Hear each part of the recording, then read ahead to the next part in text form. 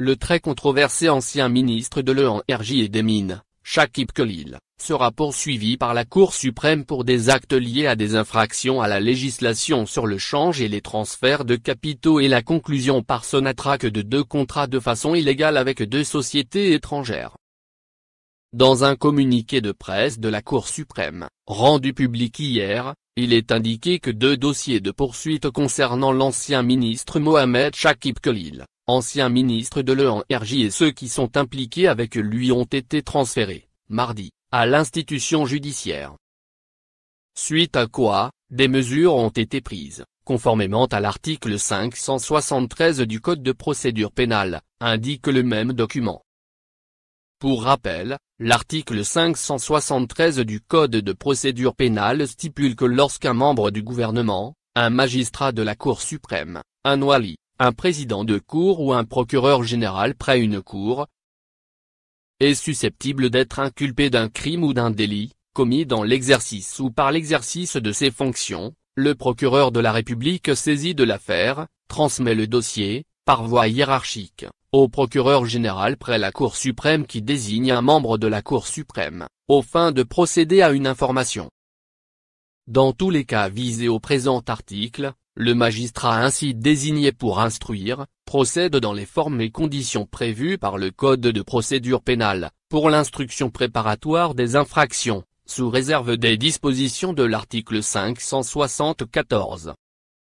Ce dernier stipule, pour sa part, que les attributions de la chambre d'accusation sont dévolues à une formation de la Cour suprême, dont la composition est fixée conformément à l'article 176 du présent code, les attributions du ministère public sont exercées par le procureur général près la Cour suprême. Lorsque l'instruction est terminée, le magistrat instructeur rend, suivant le cas, une ordonnance de non-lieu ou transmet le dossier dans les conditions ci-après, dans le cas d'un délit, L'inculpé est renvoyé devant la juridiction compétente, à l'exception de celle dans le ressort de laquelle l'inculpé exerçait ses missions. Dans le cas d'un crime, le dossier est transmis au procureur général près la Cour suprême, lequel saisit la formation de la Cour suprême visée à l'alinéa premier, pour la finalisation de l'information. Cette dernière peut soit rendre un arrêt de non-lieu, soit renvoyer l'inculpé devant la juridiction compétente, à l'exception de celle dans le ressort de laquelle l'inculpé exerçait ses missions. Shakib Khalil avait fait l'objet, en 2013, de mandat d'arrêt international lancé contre lui, sa femme, ses deux enfants ainsi que le neveu de l'ancien ministre des Affaires étrangères Mohamed Bejaoui, Farid Bejaoui, et quatre autres personnes. En tout, la justice algérienne a ainsi lancé neuf mandats d'arrêt internationaux, dans ce qui est appelé le scandale Sonatrach. En mars 2016, l'ancien ministre de l'Énergie et des Mines est rentré en Algérie, après trois années d'absence, après la clôture du procès Sonatrach 1 et la non-confirmation de preuves contre son implication dans l'affaire Sonatrach 2 traitée par la justice italienne. Le retour de l'ancien ministre accusé de corruption coïncidait avec l'offensive de l'ex-secrétaire général du FLN, Amar Siadani, contre le docteur.